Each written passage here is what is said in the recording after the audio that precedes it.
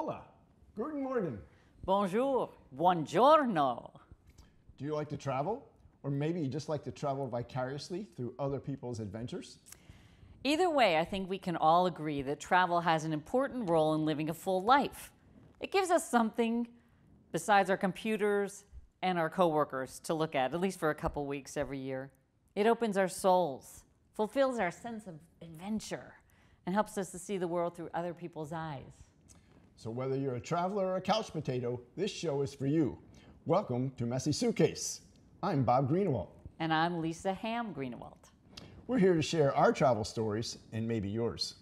So pack a messy suitcase, buckle up your seatbelt, and enjoy the ride. Let's start with who we are and why we're here. Lisa and I have owned a house near Lake Rescue in Ludlow for over 25 uh, for over 22 years. Sorry. We spent many summers here with our kids and many winter weekends skiing the slopes of Okemo while our family was living in Mamaroneck, New York. During the recession, we relocated to Colorado, where we skied Copper Mountain and Winter Park. No ice there, by the way. Thank God. And missed out on quite a few summers in Vermont. but in 2013, Bob decided it was time to retire early. It's 2018, but oh. uh, don't you mean permanently stop working? Oops, sorry. He doesn't like the word retirement, but whatever. One kid was in college, one kid was finishing high school. We were done going to school plays and band concerts and lacrosse games. It was time to plan the rest of our lives. I had lived for four years in Germany during my time in the Army. And I was a foreign correspondent in Puerto Rico covering the Caribbean. We had taken our kids all over Europe, the Caribbean, Mexico, and Canada, so we knew we loved to travel. And I knew that I needed to keep Bob busy so he wouldn't drive me nuts around the house. There was no way we were retiring at home. So we got rid of a lot of accumulated stuff, not enough, put what was left in, in storage, and rented out our house in Colorado.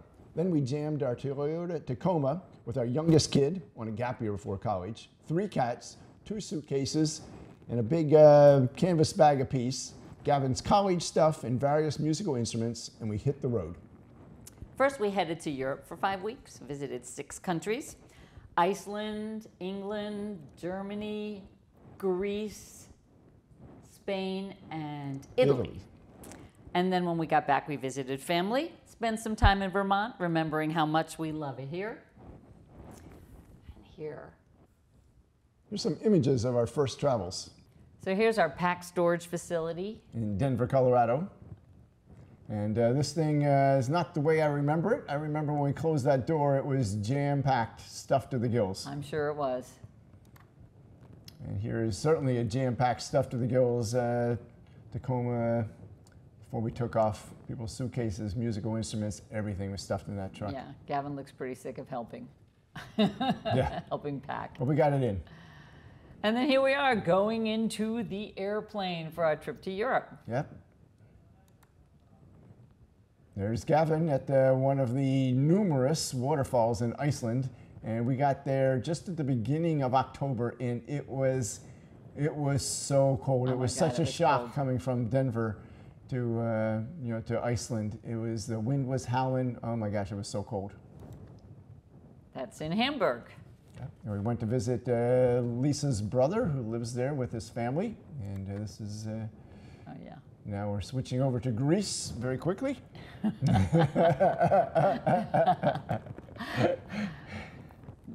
a Gaudi building in Barcelona. Yeah.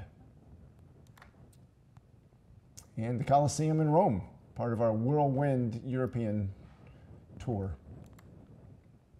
And London, the view from the London Eye. So then it was time to launch the great retirement travel experience. We pointed the truck south to Mexico. And here we are, leaving Pennsylvania, my mother lived, and uh, starting our five, six day journey down to uh, Mexico. Mexico. There it is, lovely Mexico. And here's the journey. The top's cut off, but all the way down, stopping in New Orleans, heading on down through San Antonio to Guadalajara. And here's Gavin with the three cats who got uh, had to make the journey with us. And that was Gavin's job, keep the cats happy. One cat was not particularly happy with traveling. There's Ellie, who hated it. Noxie, who always would get nauseated. And the Buddha cat who just didn't care. She just looked out the window. Kaylee. And Gavin shoved in the back seat with all these cats. and here we are approaching, um, Mexico. yeah, this The border. approaching the border. Yep. We had to pass through customs or the border Yep, crossing and, and immigration. Yep. Absolutely. and then welcome to Mexico. The plan was to live a few months at a time in different places, starting in Mexico, a huge country with an enormous variety of places to visit from mountains to cities, from beaches to ruins. First, we drove to a small village called Tlaquepaque. Try pronouncing that two, two or three times. A beautifully preserved historic village just outside of Guadalajara, Mexico, uh, which is Mexico's second largest city. Took us six days of driving to get there, with a stop in the middle in New Orleans. I had found a language immersion school there. We rented an apartment nearby for four months. We studied for four hours a day, then practiced our Spanish and explored the area. And uh, first thing, first thing uh, we did in Tlaquepaque in Mexico was uh, go to a language immersion school. And uh, this is a class that, that, uh, that uh, one of the teachers, and very, very small classes, almost individual instruction for most of it. And we spent uh, two months, Lisa and I spent two months and four hours a day in this language immersion class. Yep, that's our favorite teacher, That's Monica. Monica. Ella, nosotros, ustedes, ellos, a mí. She was great. Yeah. And uh, every uh, Pueblo Mágico in Mexico has one of these very colorful signs uh, in it, and this is the one for Tlaquepaque. Pueblo Mágico, and they also have, um, we actually watched them paint this mural on a building while we were there. Ah, And the umbrellas and very colorful walkway. Uh, we were there during the winter, and it was our last day in Tlaquepaque, and they put these umbrellas up and gave us this, uh, this fantastic uh, uh, image. And one of my favorite things in Mexico is tequila drinking. and here we are at a distillery and tasting, tasting some tequila.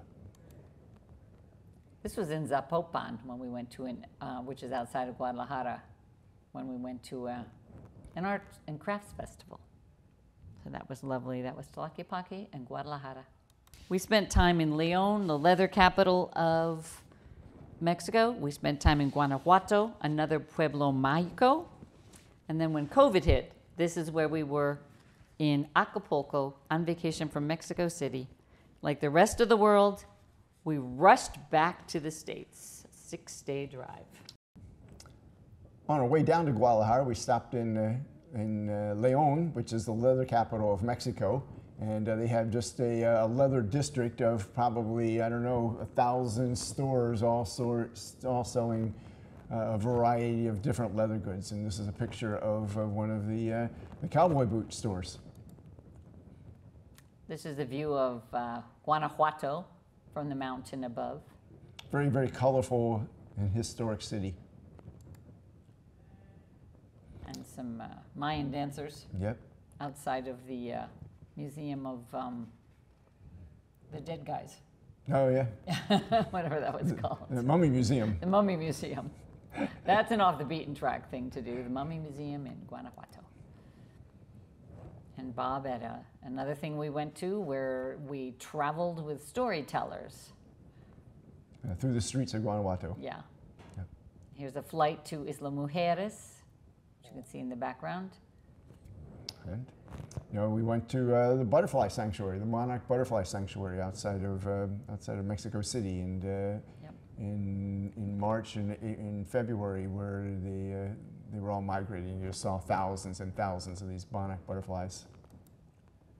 This is a view of Mexico City from uh, Castillo Chapultepec in uh, one of the big parks. There's a castle. And some of the high rises going down the, that's uh, Avenida de la Reforma. Mhm. And Xochimilco, colorful wooden boats that you can go for rides on. And this is our last night in Mexico, uh, on vacation in Mexico in Acapulco.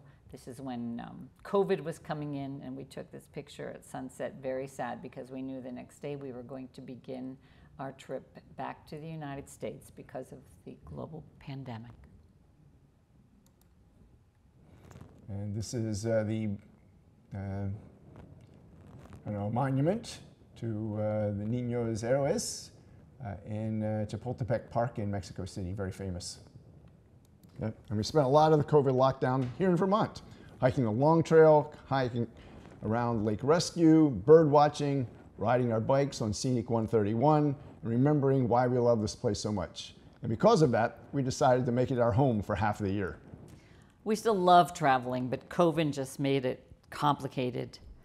And, and we also discovered there's something to be said for settling into a place, making friends, and really becoming part of the community. So here we are back in Vermont, living our best life despite the pandemic, going for bike rides, enjoying the butterflies. Th- That will, that will soon be migrating back down to Mexico City. Exactly. this is near Thundering Falls, where we also saw these wildflowers. And you know, the, uh, one of our favorite overlooks here in the uh, Ludlow region. the Vista Trail in uh, Camp Plymouth State Park, Yep. and of course our own Lake Rescue, where I like to do a lot of bird watching. So there's some of the friends that I saw, an eagle family and a loon. Last fall, we went back to Puerto Rico, where we used to live for a few months, and ended up buying a home on the southwest coast in Cabo Rojo. And here is our uh, house we just bought, a little uh, fortress. We call it the Casita Fortaleza. And it's in Cabo Rojo, in the southwest corner of Puerto Rico. That will be our home when we're not here in Vermont. And other things we love about Puerto Rico this is Luquillo Beach, um, yoga in the morning, Yoga on the beach. yoga on the beach.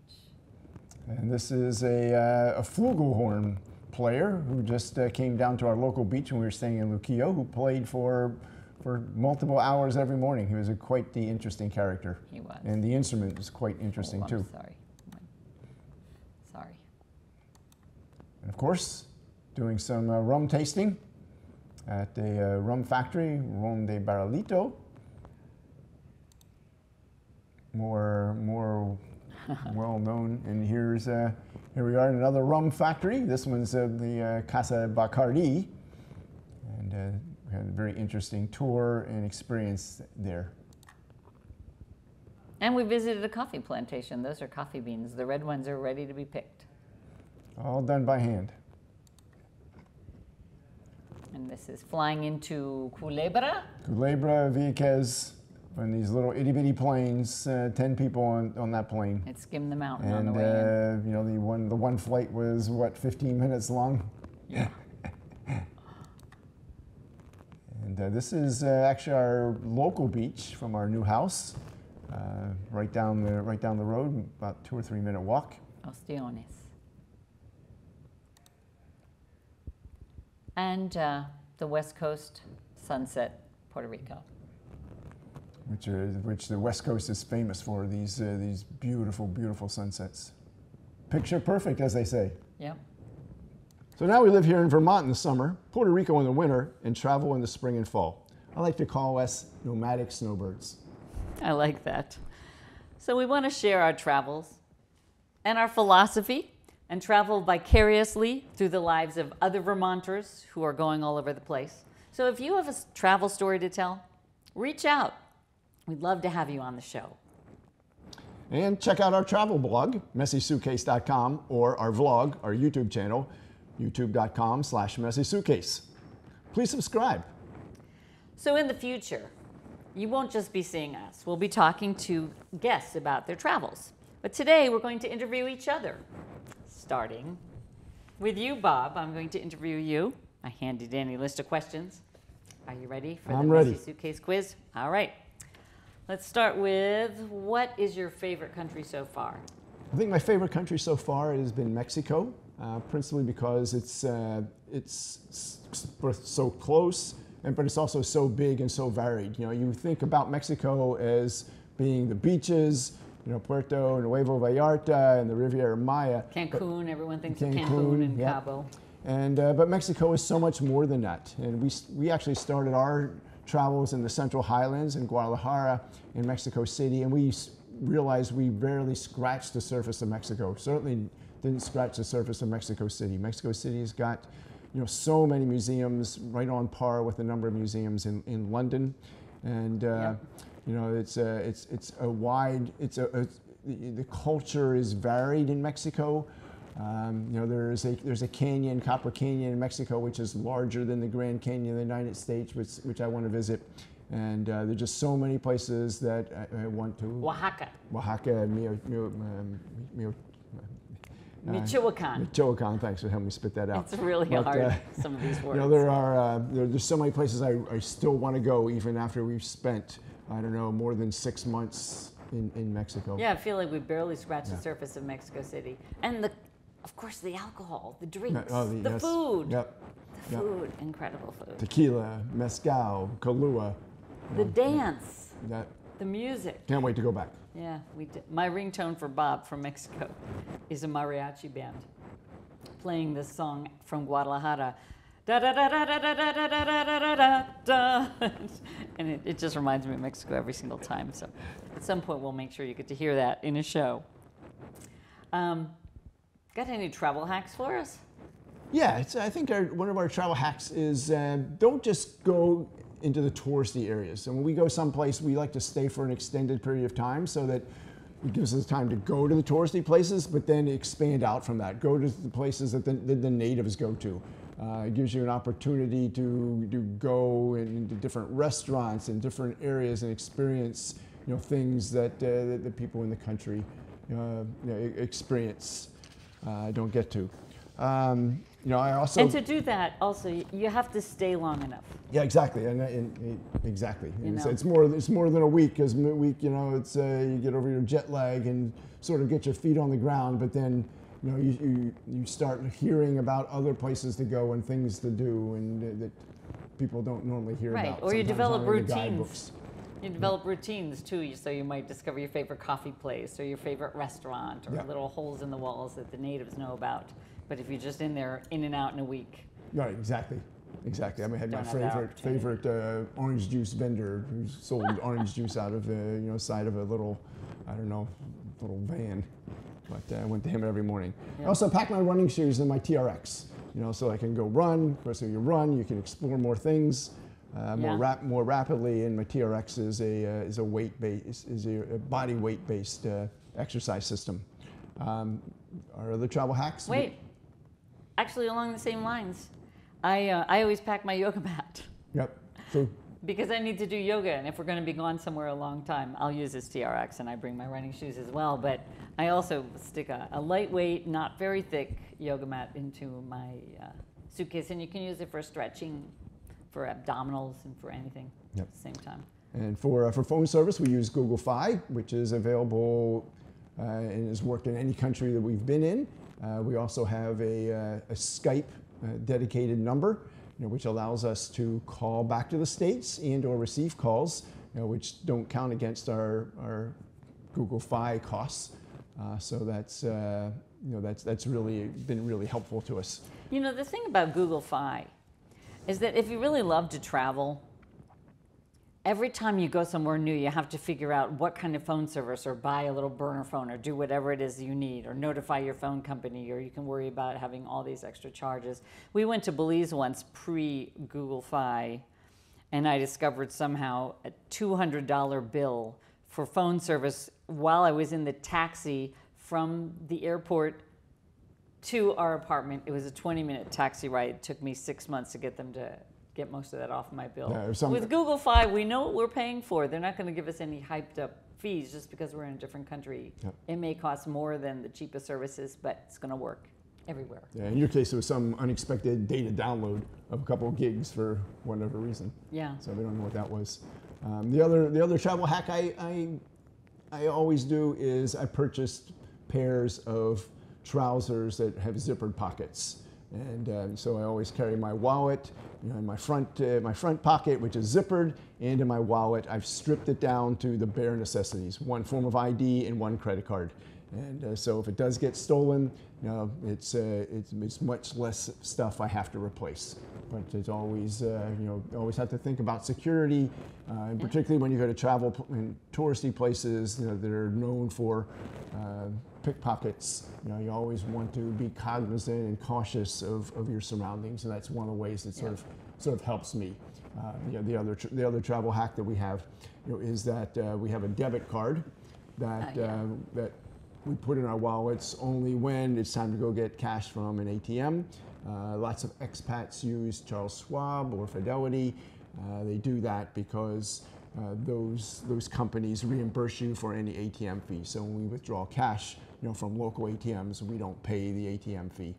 Uh, and, Yep. in, and in our debit card account, we only keep, you know, thousand dollars. So if that card does get stolen, um, you know, we're we're at less risk for the amount of money that gets uh, stolen out of our account.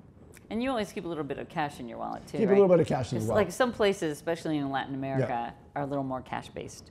So you do have to make sure that you have cash, but don't carry too much because if it gets stolen, then it's all gone. We got pulled over once by a cop in Mexico because cops are really corrupt, unfortunately, in Mexico. Sorry, Mexico, I love you dearly, but there, there are there are corrupt cops. he, we got pulled over for some trumped up stupid thing, and the only way he was going to keep us from having to go. Uh, to the police station. yeah, to the police station was to give him every single penny that we had, every single coin. He emptied our wallets of every single dollar. Yeah, every And- single peso Yeah, and I from mean, both we- ours made us made us show that there was no money left in them. yeah, I mean, he made us give us him every single penny, and um, we actually had a whole bunch more than that in the truck. It was just tucked in different places, so all we were able to give him was what we had in our wallets, which was still more than we usually have because we were traveling. But uh, he could have gotten a lot more out of us than Yeah, that. exactly, exactly. So, Uh, good, so in the good end- reason not to keep all your cash in one place, yeah, actually. in the end, it was 125 $150 total. But uh, you know, it, it, it, it taught us that, that some of the, the precautions that we take, you know, are, are actually valuable and, uh, and, are, and are well learned. Yeah, I mean, some people even carry a fake wallet Yeah, to, exactly. to give to pickpockets with like old credit cards that are expired or fake credit cards. So that's an idea too Yep. that you can do. okay. Um, next question, Bob. When you travel, what do you bring home? I like to collect bottles of alcohol, bottles of liquor, know, uh, from uh, from from that destination. You know, he doesn't really drink that much. But I just like to collect But the it bo- I sounds like to it, collect the bottles. You know, you go to you go to Mexico. I like to collect the bottles of tequila. You know, I haven't you know the, the mezcal for certainly when we went to Mexico, we've visited and taken tours of at least four tequila dis- distilleries. Um, you know, Kahlua is uh, you know is from Mexico. And uh, you know, when we go to Puerto Rico, Puerto Rico is certainly the rum capital of the world, and uh, there are multiple dequi- uh, rum distilleries there. So I like the bottles. You know, Cruzan, that's certainly from uh, St. Croix, but you got Bacardi, you got Captain Morgan.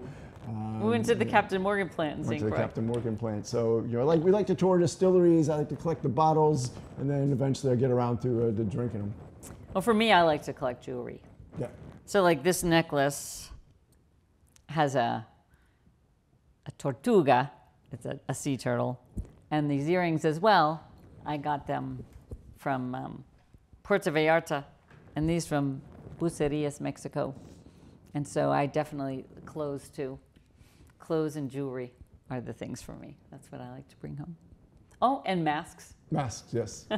now, now we have a place to put them. So, Yeah. So we have a, ma- a mask collection on our wall at the house that we've collected uh, from our various travels. Uh, we haven't been storage. We haven't been collecting those because we didn't really have a place to put them. But now that we've we've got a, a new place in Puerto Rico and we have wall space for them, we will definitely restart our mass collection. Well, we did restart it. We have one over our fireplace now We here did. in Vermont. We so did. we're sort of blending, uh, blending our worlds. Okay, Bob. Now, what are the things you can't travel without? Can't travel without my cameras. And I travel with two cameras. One is my GoPro, handy, quick, and it's uh, lots of times it's discreet. In some places they don't allow you to take video, but uh, sometimes I can just uh, discreetly hold my GoPro and uh, take video anyhow.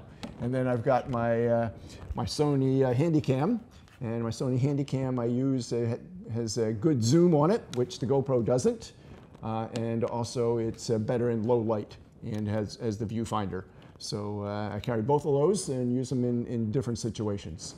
Well, the GoPro can go underwater, can't it? Yes, absolutely. And uh, taken taken it underwater plenty of plenty of times. Plenty of Yeah, times. so we have a whole snorkeling series on our Messy Suitcase YouTube channel. You'll have to check it out and see how it looks underwater. And the other thing I always take are my Merrells. Um, Oh, yeah. I'm not. I'm You're not. wearing them uh, now. I'm, I'm not a, a female, and uh, you know I can get by with uh, one pair of shoes, and uh, my Merrell, my Merrells are my go-to pair of shoes, in, along with my running shoes, and uh, I can get by for a long period of time with, with just that. Anything else? Nope, I think that's it right now. All right. Last question. Have you ever been stranded in an airport? I have been stranded in an airport. I was coming back on. Not with uh, me. Not with you. I was coming back on a trip from Washington D.C. to Denver on the 3rd of July, and uh, my flight uh, transferred in Phe- into Phoenix. And Phoenix had uh, one of its uh, summer famous haboobs, big old dust storm that delayed traffic into and out of Phoenix. Haboob, huh? Haboob. I never heard that And before. uh, I got I got stuck there. It was late late in the, actually early in the morning, probably one 1:30 in the morning, and uh, I my they rescheduled me for a flight at 7:30. That was not enough time for me to try to go find a hotel, go there, wake up at you know I don't know 3:30, 4:30 Yeah. to be back at the airport. So I decided to stay in the airport. And fortunately, enough other people got stranded that the um, that the USO kept their lounge open, and I spent the night on a on a uh, big comfy chair in the USO wow, lounge. lucky you. Yeah. Not bad. Thank you. Thank you very much. Yeah, yeah. So what about you, Lisa? Why don't you tell us about your worst travel experience? My worst tr- travel experience. So that was going to a bullfight in Guadalajara. I always, we like to experience everything, so wanted to experience a bullfight. But when we got to the bullfight, I found it so grotesque and disgusting, I couldn't stand it. Um, there were all these rich people outside of, of the arena with their wine and their one, everything very elegant. And then you got into the bullfight and people were like screaming for blood. And the way everyone bullied the bull made me crazy. I hated it. And Is that, I- was that a pun? Bullied the bull? yeah, it was a pun. I got that from my son Gavin when I was telling him the story. Um, yeah, it was just, I thought it was horrible and, and ugh, just really bad for those poor bulls. And how could people treat it that way? It was horrible. I will never go to another bullfight ever, but um, It was an interesting experience. I did it once and then we left. We left. After one bull, there's like seven bulls, but we, we were there for one bull, and I was like, all right, I've had the experience, get me out of here. I feel dirty. so we left. Uh, tell us about your most interesting food experience. My most interesting food experience. God, there's so many because I'm a foodie.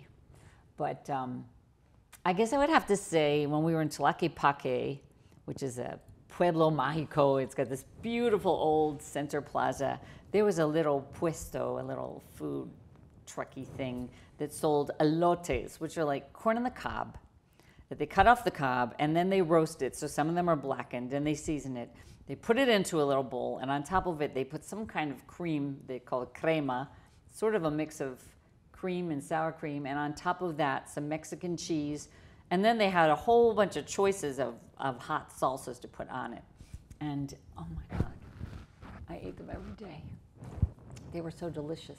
Though if Gavin were here, he would say his favorite food experience in Tlaquepaque was Gus's tacos and molitos or whatever it is that they made. What about, what about some travel hacks? Travel you got hacks? any? Well, um, this is my biggest travel hack right here. To always carry this with me, which is a, a solar charger, and it's awesome because it's also a flashlight, super powerful. It saved my life in a cave once, and it uh, it keeps me from ever running out of juice. And Bob can use it as well.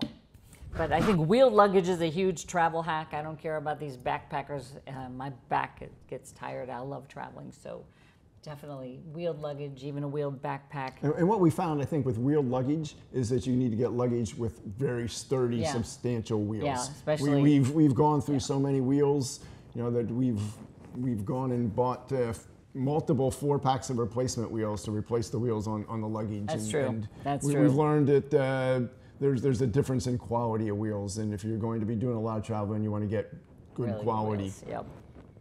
And th- but my biggest one is mesh packing bags to keep your clothing in. Put your clothing in mesh packing bags. You take them out and you put them in your drawer and you keep them in those bags. Everything is organized. When it's time to pack, you zip them up, put them back in your suitcase, and you're done. That- I just jam it all in there, pawl through it. Who cares? Ah, I could never travel Yeah. the way you travel. And then um, I always carry uh, disposable, uh, I mean, um, reusable shopping bags, little tiny little ones with me everywhere I go for any, anywhere I am that I need a bag. And um, my other big one is traveling with cats to have a kind of carrier that opens on the side so the cat can spread out. Yeah, very important for the cat to be comfortable when they're traveling. Yes, when it they're is. stuck in their cage for, for 10, 12 hours a day. Yep.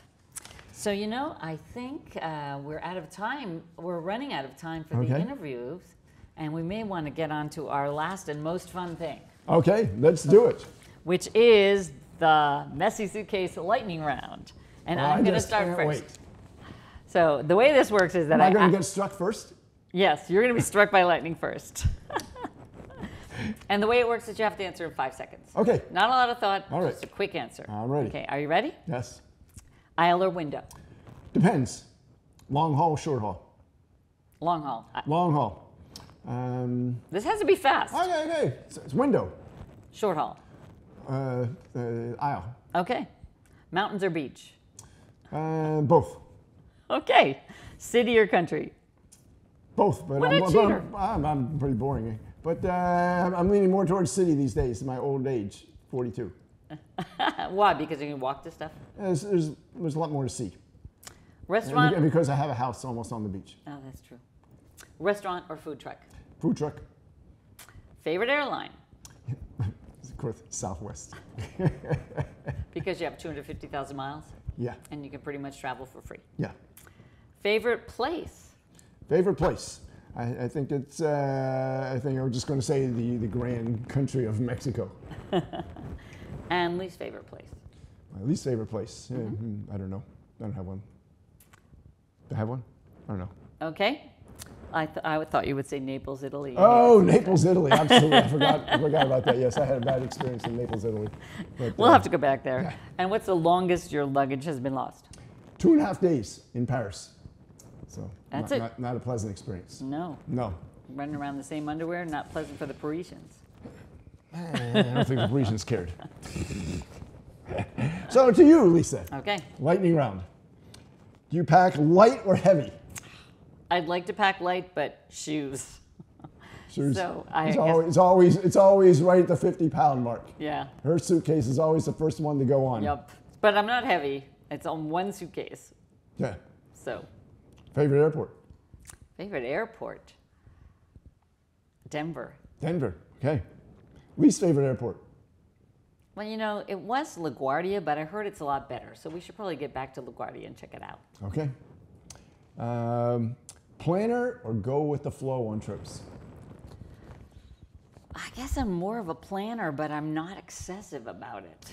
Well, I've seen people that, uh, that, that plan down to the, know, the exact hour. You know, they plan. So I'm going to go to this restaurant, and I'm going then, then Yeah. I'm going to travel to this location and be at this beach for two hours, and then go someplace else. We're not planners. Yeah, we're pretty go with the flow. Yeah. yeah. yeah. Uh, tourist traps or secret spots? Secret spots. Absolutely. But I love the occasional hop on, hop off bus or Paris e bike ride. So I'll do some tourist traps.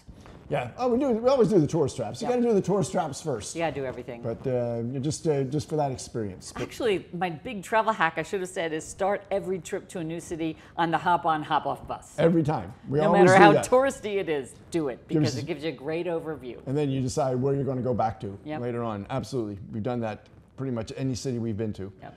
Uh, frugal or splurge? I'm normally frugal with the occasional splurge. Yep, absolutely. Okay, and then Hmm. Oh, everywhere we go, we take a selfie of the day. Are you ready? I'm ready. Come on over, because here we are. I'm always on this side. Oh, try not to uh, unplug your mic. All right. I'm on this side. All right. Smile.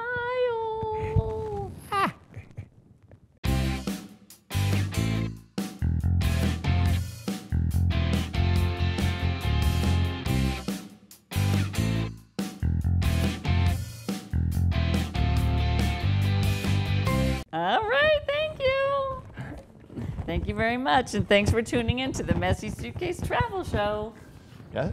We you got stories, got travel stories to share? Send a message to Okemo Valley TV.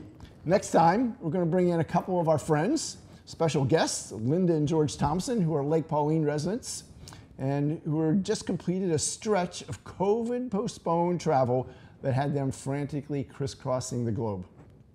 So until then, ciao, au revoir, Adios and auf Wiedersehen. and may, your suitcase always be messy.